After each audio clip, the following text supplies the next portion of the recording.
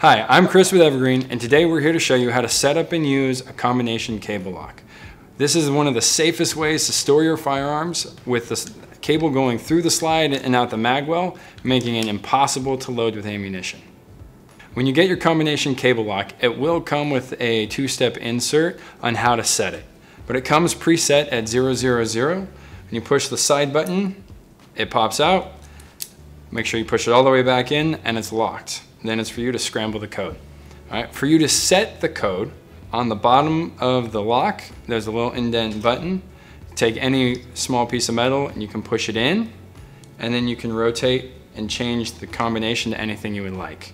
All right, when you release the button, you've changed the combination code. To show you how to use our combination cable lock today, we're gonna use an airsoft replica of a Glock 19. First, drop the mag and pull your slide back and engage the slide lock. Next, you're gonna take your cable lock, pass it through the slide and out the bottom of the mag well.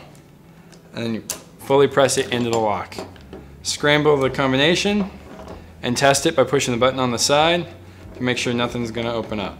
And there you have a safe and properly locked firearm. Thanks for watching today how to use our combination cable lock. We want to remind you that it is law that every firearm has a lock. So stay safe, have fun, and we'll see you next time.